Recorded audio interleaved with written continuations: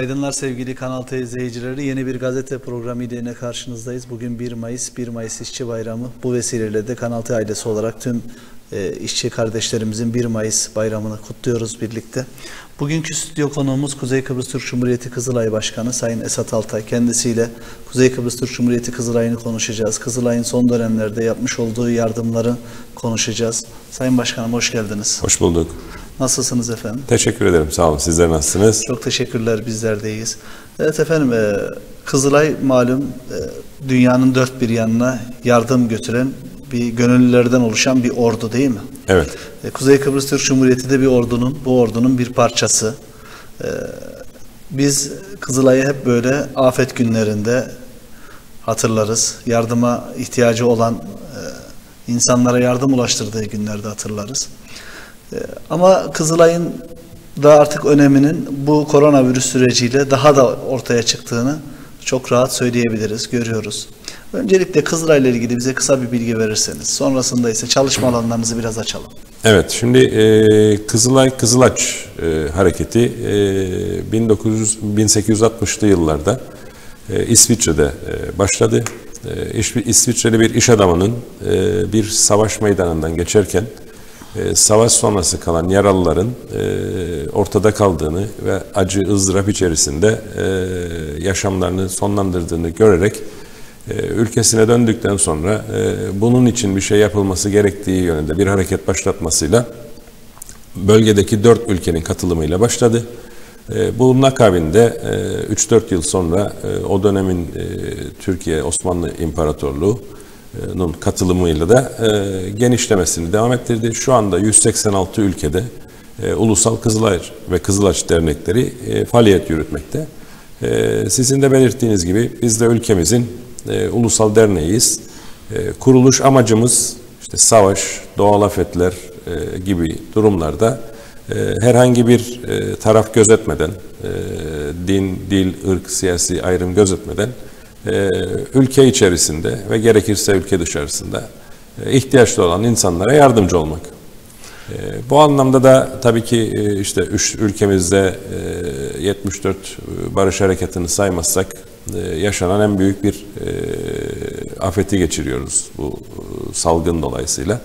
Ülke genelini etkileyen bir e, sıkıntı var, e, bir salgın var. E, biz de misyonumuz gereği e, halkımızın e, bu anlamdaki ihtiyaçlarını e, sarmak, e, bir şekilde katkı sağlamak. Peki efendim bu süreçte siz çok aktif olarak sahada yer, alıyor, yer aldınız. Başbakanlıkla birlikte bu yardımları ulaştırıyorsunuz. Öncelikle bu yardımlara ulaşmak isteyen izleyicilerimiz için bir bildirimde bulunalım isterseniz. Nereye başvurmaları gerekiyor, nasıl başvurmaları gerekiyor. Ondan sonra da yardım şeması ile ilgili biraz evet. bizi bilgilendirin. Ee, şimdi yardım için e, Başbakanlıkta oluşturulan bir veri tabanı var. Bu veri tabanına e, başvuru.başbakanlık.gov.tr adresinden e, gerek akıllı telefonlardan gerekse bilgisayar aracılığıyla müracaat yapabilir kardeşlerimiz. E, tabii ki e, ihtiyaç sahiplerinin hepsinin e, bir şekilde akıllı telefonu veya bilgisayarı olmayabilir. E, bu anlamda da Kızılay'ın 41-42 e, çağrı merkezi e, sabah 8 gece 12'ye kadar 24'e kadar e, hizmet veriyor arkadaşlarımız orada gönüllü olarak. E, onlar üzerinde de telefonla ulaşabilir e, kardeşlerimiz. E, çağrı merkezimiz ücretsizdir. Yani kontürünüz yoksa dahi, e, ekonomik sıkıntıdan dolayı bir şekilde mali gücünüz yoksa dahi buraya ulaşabilirsiniz. E, tabii ki yaşlı olan e, veyahut eğitim durumu müsait olup da telefonu olmayan insanlarımız da olabilir. Onlar da çevrelerinden, bir komşularından, bir yakın bir akrabalarından da e, burayı aratarak gerekli bilgileri vererek kayıt yaptırabilirler. Peki şu ana kadar e, yardımlar e, kaç kişiye ulaştırıldı efendim? Yani hangi bölgelere dağıtıyorsunuz? Şimdi biz Kızılay olarak e, şu anda adanın geneline dağıtım yapıyoruz. E, 9 şubemiz var Kızılay olarak. Aynı zamanda işte Başbakanlık altında Acil Afet Durum Yönetimi merkezinin koordinesinde ilçe emniyet kurulları var. O ilçe emniyet kurullarında da Kızılay bir temsiliyeti var. E, kaymakamlarımız, muhtarlarımız, e, belediye başkanlarımızın da katkılarıyla kendi arkadaşlar, gönüllü arkadaşlarımız da e, o ilçenin kendi durum ve altyapısına da bağlı olarak e, faaliyetlerimizi yürütüyoruz. Ada genelinde de şu anda dağıtım yapıyoruz. Bütün bölgelere ulaştınız mı hemen? Ulaşamadığınız yerler var mı? E, yani şu anda dağıtımlarımız devam ediyor. E, tamamlanan bölgeler var. E, ikinci kez e, yardımcı olmak için e, çalışmalarımız sürüyor. E, Lefkoşa ve e, Girne'de de tamamlanmak üzere çalışmalarımız. Yani ada genelini tamamlamış olacağız muhtemelen pazartesi gibi. Evet. E, Şu ana kadar kaç başvuru geldi efendim? Bilgi var mı elinizde? Ee, yaklaşık olarak e, şu ana kadar 25 bin e, başvuru var. E, tabii bu her gün biraz daha artıyor. E, belli bir eliminasyondan geçiyor. Yani e, kamu çalışanı, e, maaşlı çalışan e, gibi kriterlerden bir eleme, eliminasyon yapılıyor. E, olan, şu anda geliri olmayan, belli bir gelir, seviyesinin altında olan kardeşlerimizi de Başbakanlıktan çıkan listeler aracılığıyla biz Kızılay olarak e, yardımlar ulaştırıyoruz. Peki burada öğrenciler, yaşlılar, ihtiyaç sahipleri ya da çalışanlar, işçiler, dışarıdan gelen bunlar herkes başvurabiliyor mu bu A? Tabii ki bir kısıtlama yok. Çünkü neticede eğer şu anda ülkemizde yaşıyorsa e, bir kişi e, o da sonuçta bu ülkenin e, vatandaşı gibi kabul etmemiz gerekir. Çünkü bir şekilde bu ülkeye iş gücüyle veya başka bir şekilde bir katkı sağlıyordu. E, şu anda içinde yaşadığımız salgından dolayı ekonomik yönden etkilendiyse e, tabii ki onlar da hak sahibidir ve yardımlar ulaştırılıyor. Yani e, öğrencilere de, e, yaşlıya da, e, yabancı uyruklu, üçüncü ülke vatandaşlarına da herkese ulaşıyoruz. Peki koordinasyon anlamında e, koordinasyon anlamında e, bir eksiklik var mı şu an? Yani size bütün ihtiyaç sahipleri ulaşıyor mu? E, şimdi tabii ki e, bunun yüzde yüz olması e, yüzde yüz ulaşıyor dersek herhalde e, çok doğru olmaz. Bir şekilde çekilen insanlar var. E, bir şekilde belki yaş itibarıyla ulaşamayanlar da olabilir. Mümkün mertebe bunu minimize etmeye çalışıyoruz. İşte burada tabii ki bölge muhtarlarımıza, yine vatandaşlarımıza da bir şekilde iş düşüyor. Yani bir komşusu varsa ve işte yaşı ileridir, telefonu yok, yatalaktır belki, e, imkanları kısıtlıdır. Ona da o komşusu yardımcı olabilir, e, onu kaydettirebilir veya onun adına kayıt yaptırabilir. E, bu şekilde e, bunu da minimize edebiliriz. Peki sizin e, Kızılay yardım yaparken bir kriter var mı efendim? Neye göre bu yardımlar kategorize edilip de dağıtılıyor? Şimdi şöyle belirteyim. E, biliyorsunuz 16 Mart'ta başladı bu kısmi sokağa çıkma yasağı ve e, salgının ülkesel e, iş gücüne etkisi o kısmi sokağa çıkma yasağıyla beraber iş e, yerlerimizin kapanmasıyla e, başladı. E, ve bu süreç işte bugüne kadar devam etti. Önümüzdeki birkaç gün daha devam edecek. Dördünden sonra belli iş yerleri açılacak. Tabii bunların ekonomiye yansımalarını göreceğiz. Ancak bu sürecin başlangıcından itibaren halkımız çok duyarlı bu tür olaylara ve birlik, beraberlik, dayanışma içinde hareket etmeyi e, geçmişte de yaşanan e, sıkıntılarda hep gözlemlemiştik. Yine aynı şekilde e, halkımız bu duyarlılığı gösterdi ve 16 Mart'tan itibaren yardımlar dağıtılmaya başladı. Gerekli Bu iş adam- yardımlar gıda paketleri şeklinde mi? Ee, tabii şu anda Kızılay'ın e, yapmış olduğu yardımlar gıda paketleri. Bunun yanında tabii bu sürecin e, sağlıkla ilgili, hijyenle ilgili bölümü olduğu için biz aynı zamanda hijyen paketi de veriyoruz e, vatandaşlarımıza. Yani hem gıda yardımı yapıyorsunuz hem e, Hijyen malzemesi veriyoruz. hijyen malzemesi ver, veriyorsunuz. Peki e, başvurup da cevap alamayan izleyicilerimiz de var. Yani öyle bir Şimdi- yazmış bir izleyicimiz. Şöyle, e, başvuru yapanlar e, bahsettiğim gibi e, Başbakanlığın ve Acil Afet e, Durum Yönetimi'nin e, paydaşlarının e, ülkedeki bu krizden etkilenen, e, geliri olmayan insanları belirlemek yönünde bir kriterler belirlendi e, bu komitenin içerisinde. E, bu belirlenen kriterler çerçevesinde e, eliminasyon yapılıyor. E, başvurup bu kriterlere uymamaktan dolayı elenmiş olabilir kardeşlerimiz. E, bir de belirttiğim gibi şu anda Lefkoşa ve Girne bölgesi tamamen e, bit- Bitmedi. bitmediği için e, belki bu bir iki gün içerisinde alacak olan kardeşlerimiz de var. Peki yani bu korona süreci öncesinde Kızılay nasıldı? Çalışmaları nasıl yürütüyordu?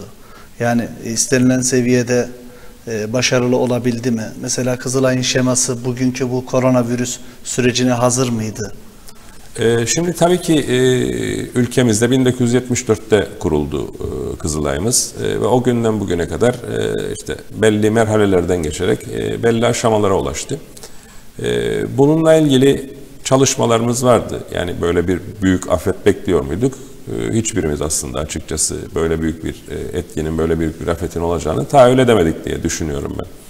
E, Ancak tabii ki Kızılay olarak işte misyonumuz gereği böyle bir e, afetlerde pozisyon alabilmek anlamında çalışmalarımız ve altyapımız mevcuttu.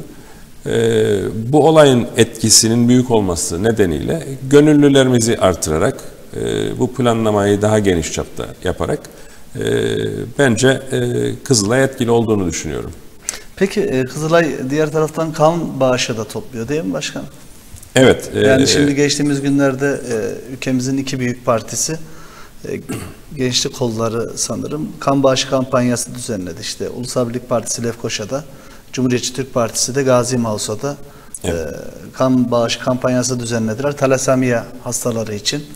E, tabii bu noktada sizin böyle bir misyonunuz da var. E, tabii özellikle bu süreçte e, etkilenen e, konulardan bir tanesi de kan konusu. Çünkü e, biliyorsunuz tabii bu salgına hastalıkla ilgili bir salgınla mücadele ediyoruz. Ondan dolayı insanlarımızın, vatandaşlarımızın çekinceleri vardı, sıkıntıları vardı. E, bu sıkıntıları aşma yönünde de Kızılay yine e, kan konusunda da faaliyetlerini e, organize etti. E, ve e, biz mobil araçlarla kan alıyoruz. E, bu doğrultuda vatandaşlarımızın etkilenmeyeceği, e, işte Bakanlar Kurulu'nun almış olduğu hijyen ve e, bir toplu bulunmama e, süreçlerini de kontrol etmek amacıyla merkezi noktalarda mesela Lefkoşa'da belediye binası önünde, işte Mausa'da kaymakamlık önünde, e, Girne'de yine kaymakamlık önünde, Güzelyurt, Lefke e, ve İskele'de kaymakamlık binaları önünde mobil aracımız belli bir planlamayla hizmet veriyor. Vatandaşlarımız kendi arabalarıyla oraya ulaşıyorlar. E, hijyen kurallarına uygun bir şekilde sağlık kurallarıyla ilgili gerekli her türlü tedbir alınarak vatandaşımız tek tek e, girip e, kan bağışında bulunuyor ve çıkıyor. E, tabii burada şunu da yeterli mi? E, yeterli değil. E, çünkü gerçekten özellikle talasemiyalı hast- hastalar, aynı zamanda onkoloji hastaları, kanser hastalarının ciddi miktarda kan ihtiyaçları var. E, buradan da e, vatandaşlarımıza, kardeşlerimize bir çağrıda Tabii, buyurun. bulunmuş olalım. E, lütfen e, gelip hem kendi sağlıkları açısından kan veren kardeşlerimizin düzenli belli periyotlarla vermesi e, kendi sağlıkları açılarından çok önemli. E, bağışıklık sistemine e, olumlu etki veriyor kan bağışı. E, bu anlamda e, biz gençlerimizi e, kan bağışı vermek isteyen e, 65 yaşa kadar e, bağış yapabiliyor e, vatandaşlarımız. E, kanla ilgili eğer bir tansiyon veya başka bir sağlık kalp sorunları yoksa e, bizim mobil merkezlerimize müracaat etsinler e, ve kan bağışında bulunsunlar. İhtiyacımız var gerçekten. Peki ne olarak. kadar sürüyor bir kan bağışı? Kaç dakikada oluyor bu kan vermek? Yani normalde Yani bizler 10 biliyoruz da. 10-15 dakikalık Yani hani korkanlar için olur. İlk defa vermek isteyenler Yani için olur. 10-15 dakikalık bir e, süreçte kan bağışını e, tamamlan tamamlanıyor. Peki hijyen şartları tamamıyla yerine getiriliyor. Tabii ki Çünkü tamamen bu- uluslararası standartlarda özellikle de bu koronavirüsüyle ilgili e, biliyorsunuz Türkiye'de de tabii ki Türk Kızılayı bu kan konusunda çok yüzyıllık bir tecrübesi olan kuruluş. E, Onların da e, bilgi paylaşımı yapıyoruz. E, Zaten belli platformlarda işbirliklerimiz de var. O anlamda onlardan aldığımız ve yine Dünya Sağlık Örgütü'nden aldığımız bilgiler doğrultusunda gerekli her türlü ted- tedbiri alıyor arkadaşlarımız. Peki Sayın Başkan, merak ediyorum ben. Şimdi Kızılay farklı bir oluşum. Yani baktığımız zaman tamamıyla yardım amacıyla kurulan bir oluşum.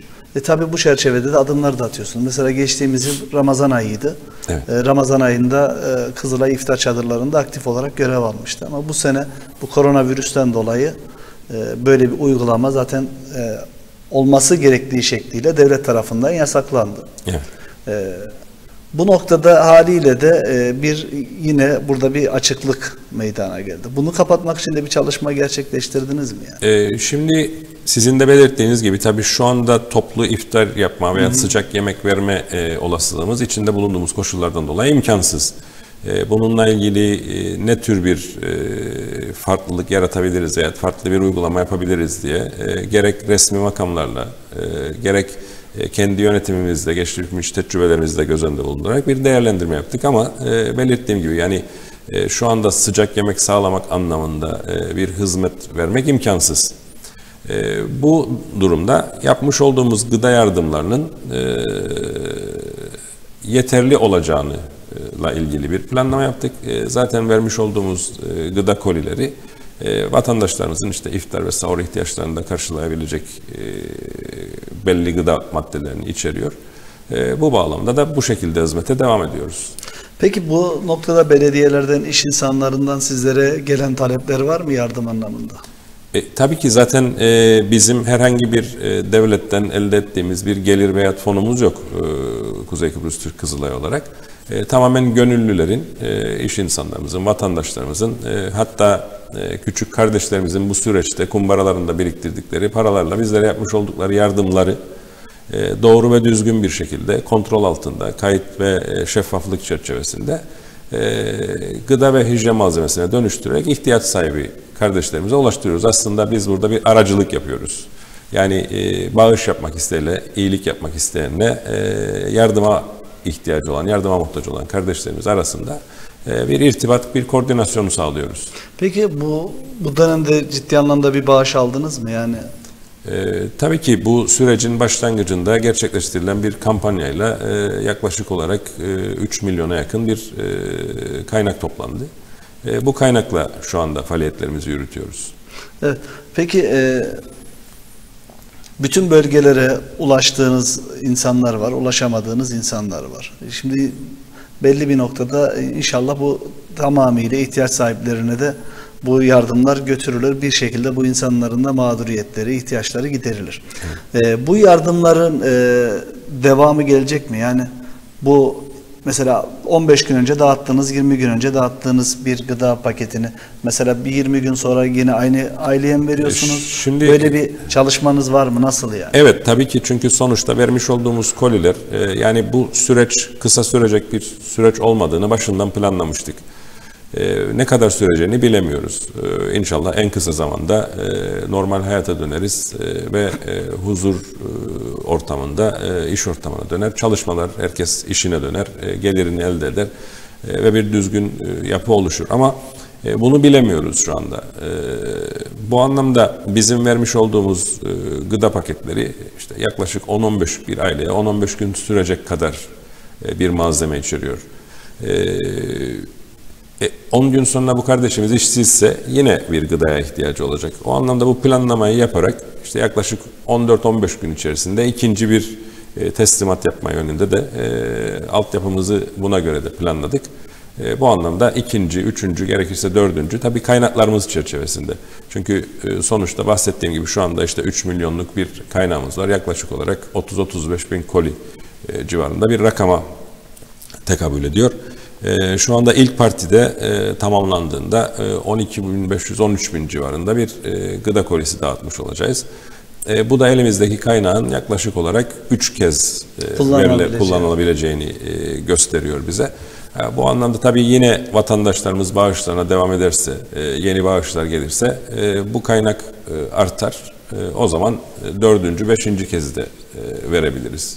Peki normalde daha önce bağış konusunda o zaman çok fazla bir bağış yok muydu diye algıladım ben ama. E, şimdi tabii normal süreçte e, takdir edersiniz ki e, belli bağışlar alıyoruz ama tabii böyle yüksek meblağlardaki bağışlar olmuyor. Daha çok bu tür e, halkın halkımızın duyarlılık gösterdiği, dayanışma ve birlik beraberlik e, olduğu e, afet durumlarında bu tür e, kaynaklarda bir yükselme oluyor. Normal zamanda yani çok küçük komik rakamlarla oluşan bağışlar elde edebiliyoruz.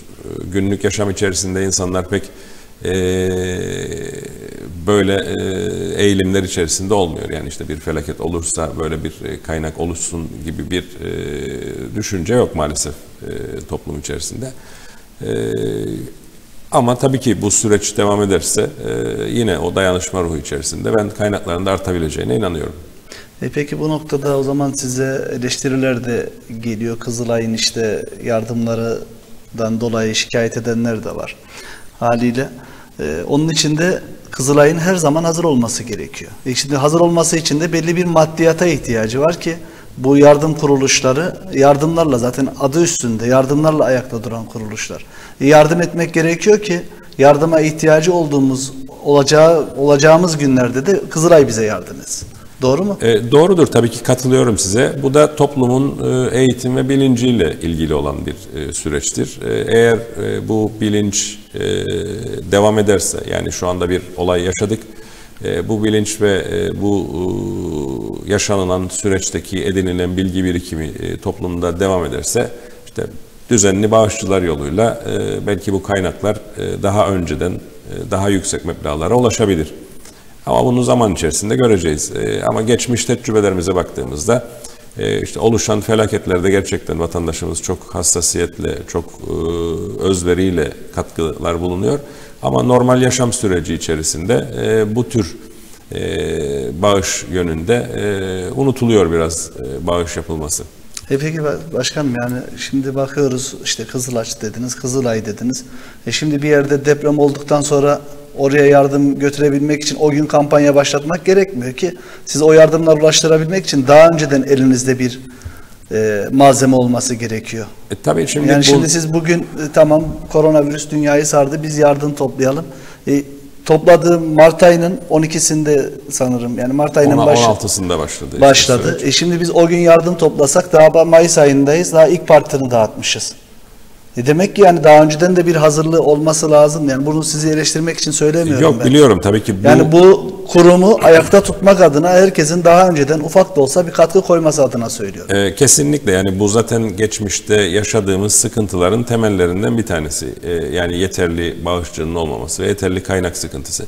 E, tabii özellikle burada işte 100, 140, 150 yıllık tecrübesi olarak Türk Kızılay'ına baktığımızda e, Türk halkının e, ve devletin e, bu kuruma yapmış olduğu ciddi bağışlar olduğunu görüyoruz. Bu bağışlardan oluşan ciddi bir gelir kaynakları olduğunu görüyoruz. Bu gelir kaynakları da belli fonlar oluşuyor tabii ki yapı içerisinde. E, şimdi ülkemizde de bunların olması gerektiğine inanıyorum ben. E, işte belirttiğim gibi bu geçirdiğimiz süreç inşallah normal hayata döneceğiz tabii ki ilahi sürecek, e, sonsuz sürecek bir süreç değil. Bu süreci geçireceğiz. E, o gelişecek yeni yaşam koşulları, normale dönme süreci içerisinde de bunları işte düşünüp geleceği toplumdaki bu sivil toplum örgütlerinin, paydaşların daha operatif olabilmesi için gerekli tedbirlerin hep birlikte almamız gerektiğine inanıyorum. Peki e, şimdi bu salgın dünyada büyük bir salgın. Yani sadece Kuzey Kıbrıs Türk Cumhuriyeti'ni etkilemedi, Türkiye'yi de etkiledi. İşte Avrupa'nın tamamını etkiledi. Amerika Birleşik Devletleri bugün en çok vakanın görülen, görüldüğü evet. ülke. E, ciddi anlamda büyük bir sıkıntı var yani. Bununla ilgili her ne kadar işte aşı çalışmaları yapılsa da ilaç üretme çabaları yapılsa da yani en erken e, yıl sonu.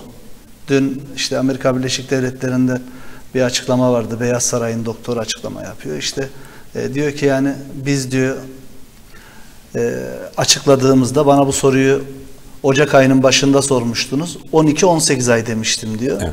Şimdi yine aynı noktadayım diyor. Yani seneye bu zaman bir aşı için diyor takvim verebiliriz. Evet. Yani baktığımız zaman önümüzde biz şu an 5. aya yeni girdik ki 7 aylık daha bir süreç var. Evet. Yani bu aşı bulunmadığı takdirde biz bu e, koronavirüste yaşamaya devam edeceğiz. Öğreneceğiz de nasıl yaşayacağımızı, nasıl mücadele edeceğimizi.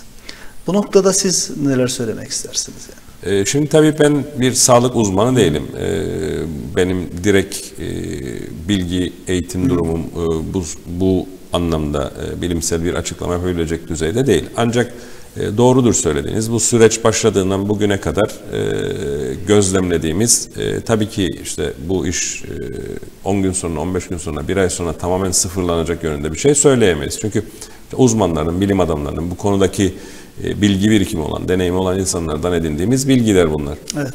E, ancak tabii ki şunu da gözlemlediğimizde görüyoruz ki e, sonuçta e, bir salgın e, belli bir süreci izleyerek e, bir normalleşmeye gidiyor.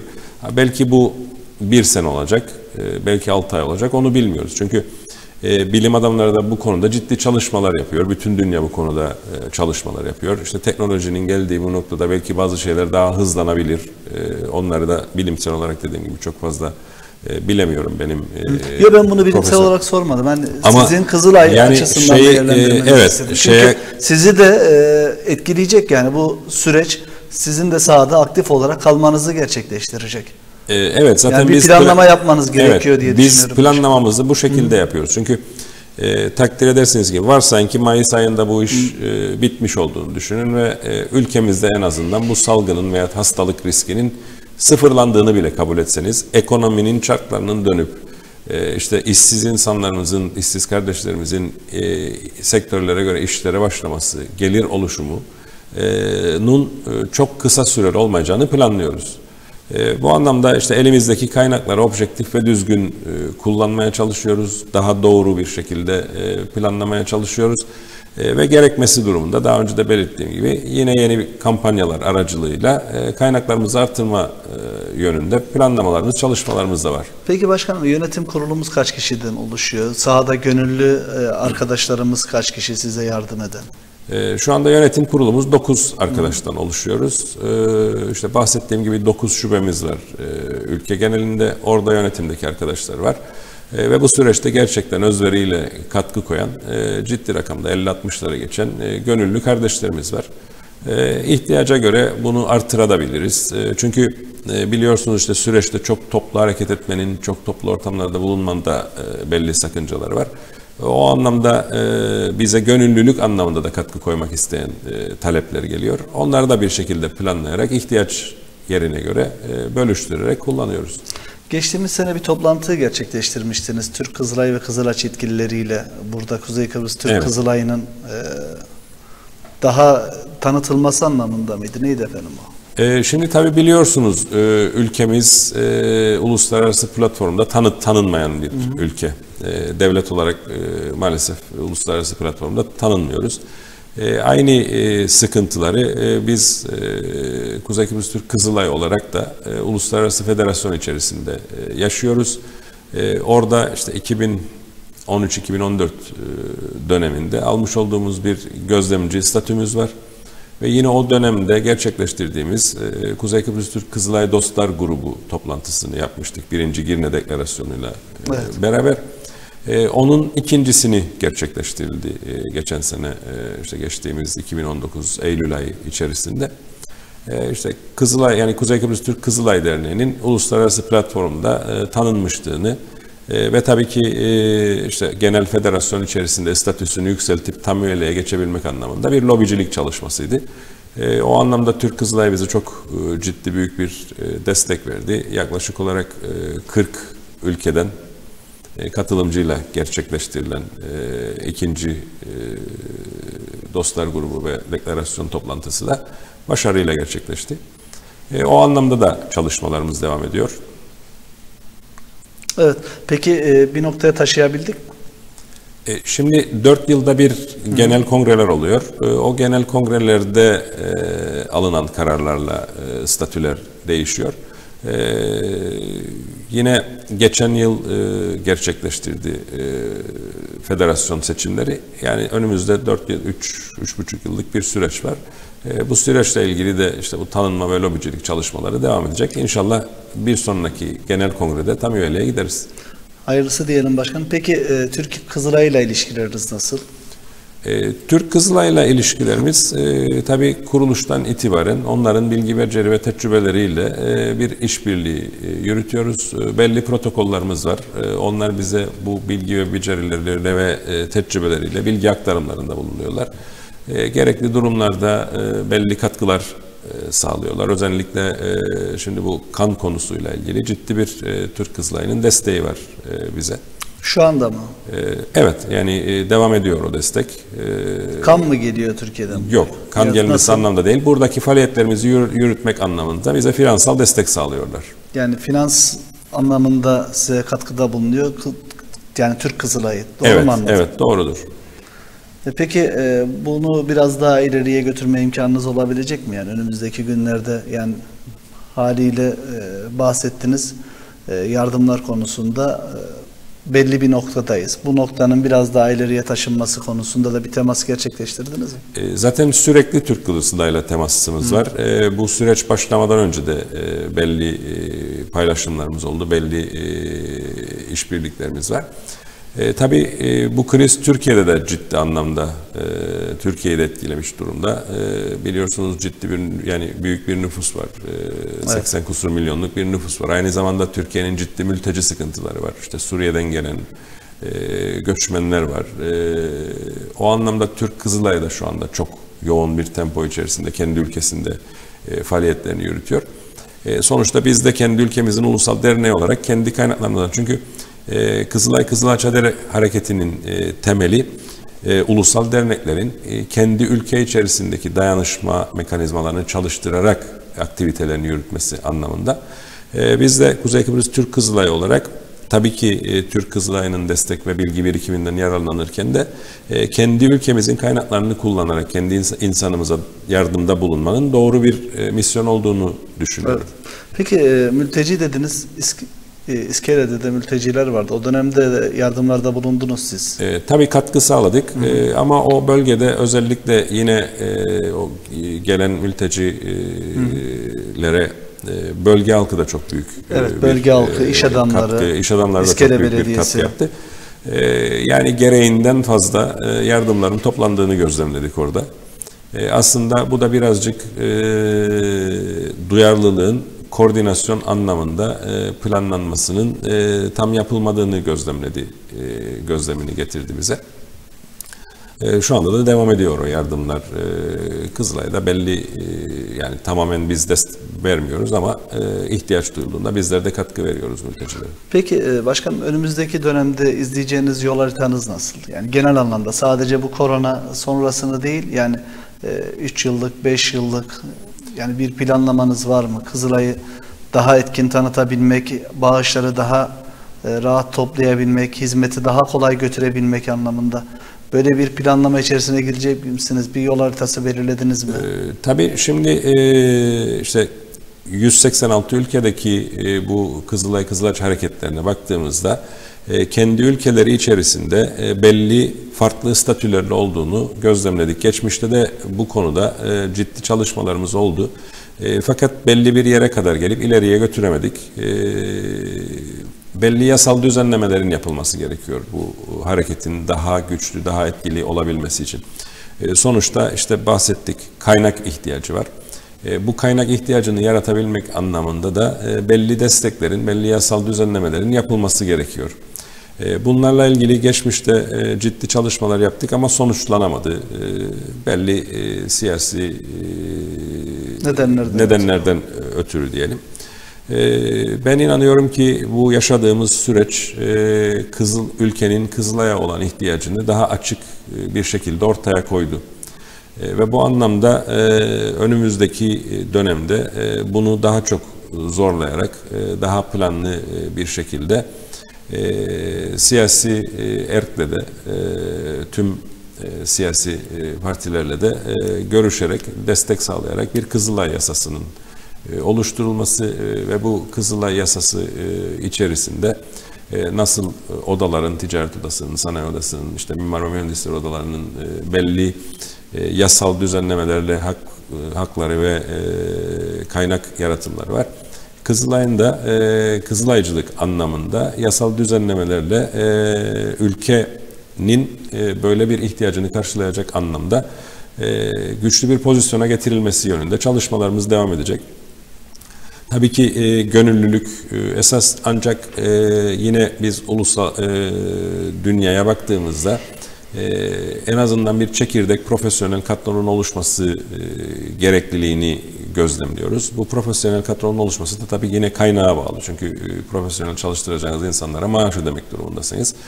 E, bu kaynağın yaratılması anlamında da yasal düzenlemelere ihtiyaç olacak. E, yani yapacağımız çok şey var. Bunları planlıyoruz, çalışıyoruz.